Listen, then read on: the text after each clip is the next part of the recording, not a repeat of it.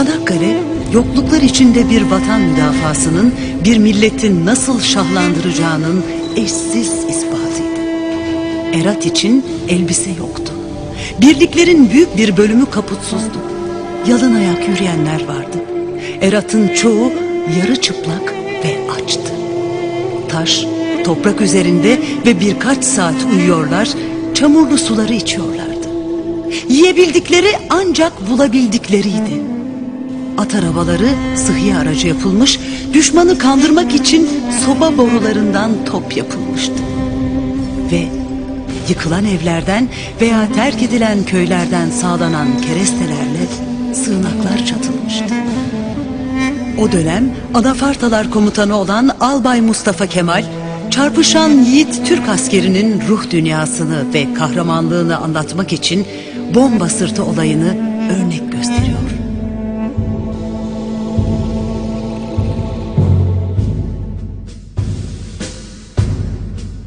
Karşılıklı siperler arasındaki mesafe 8 metre. Yani ölüm muhakkak. Birinci siperdekilerin hiçbiri kurtulmamacasına düşüyor. İkinci siperdekiler yıldırım gibi onların yerini alıyor. Fakat ne kadar imrenilecek bir soğukkanlılık ve tevekkülle biliyor musunuz? Öleni görüyor, 3 dakikaya kadar öleceğini biliyor. Ama en ufak bir çekinme bile göstermiyor. Sarsılmak yok. Okuma bilenler Kur'an-ı Kerim okuyor ve cennete girmeye hazırlanıyor. Bilmeyenler kelime-i şehadet çekerek yürüyorlar. İşte bu Türk askerindeki ruh kuvvetini gösteren hayret ve tebrike değer bir örnektir. Emin olmalısınız ki Çanakkale muharebelerini kazandıran bu yüksek ruhtur. Bu ruh yapısına sahip Anadolu'nun bıyıkları yeni terlemiş çocuk yaştaki gençleri kanlarının son damlasına kadar vatanı savunuyorlardı. Ölüyor, düşmana bir karış adım attırmıyorlardı. Her yerde şehitlerin naaşı vardı. Gün boyu süren çatışmaların ardından gece cenazelerin toplanması için çatışmalara ara veriliyor ama vakit yetmiyordu. Yetiştirilebilenler hastanelere kaldırılıyordu. Yaralıların çokluğundan Sahra Hastanesi'ndeki doktorlar sadece yaşayabilecek yaralılara bakabiliyordu. Hiç durmadan taşınan yaralıların birçoğu için yapılacak hiçbir şey yoktu. Günlerdir yaralılarla uğraşan uykusuz ve yorgun doktorlar ancak yaralıların yaralarını sarabiliyor, ümit kesilenler içinse yalnızca gözyaşı döküyor ve dua ediyorlardı.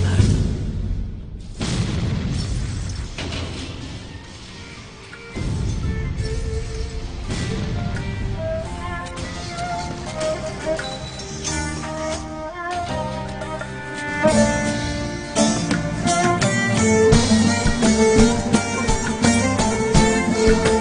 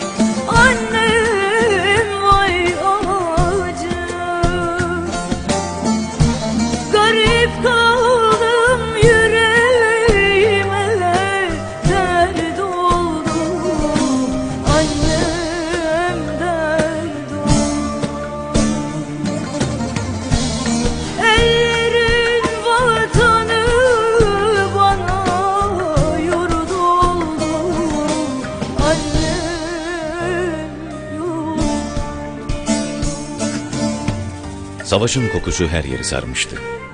Hastanenin en yoğun olduğu anda orta yaşlı, yorgun ve gözyaşlı bir doktorun önüne gencecik bir vatan evladını yatırdılar. Erin vücudu parça parçaydı. Ortalık bir anda kan gölüne dönüverdi. Doktor, babacan ama ağlamaklı bir sesle sıhhiyecilere "K- kaldırın bu çocuğu dedi. Tam arkasını dönmek üzereydi. Yüzü tanınmaz haldeki genç asker kan kırmızısı dudaklarını zorlukla açarak baba diyebildi. Doktor döndü, baktı. Sedyenin üzerindeki kanlar içinde yatan kendi oğluydu. Sarıldı, öptü oğlunu, sıktı yumruklarını ve hıçkırıklarını tutarak bu benim oğlum, gölge bir yere kaldırın dedi. Masanın üzerine çoktan bir yaralı vatan evladını yatırmışlardı bile. O da doktorun oğlundan farklı değildi. Doktor baba onunla meşgul olmaya başladı. Sırada daha pek çok Mehmet beklemekteydi. Doktor ancak ertesi gün oğluyla ilgilenebilecek vakit buldu. Ama oğlu şehit olmuş ve çoktan gölge bir yere gömülmüştü.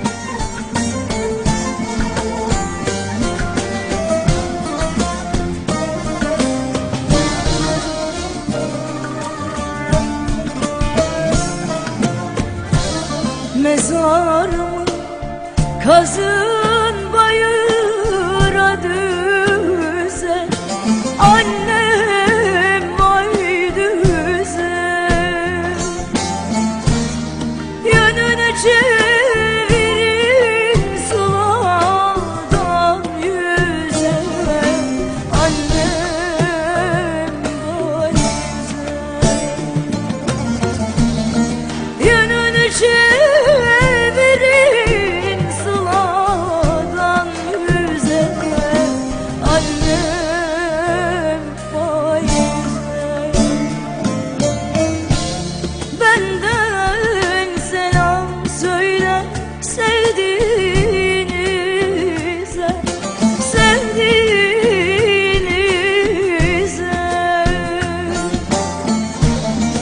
ήσουν εγώ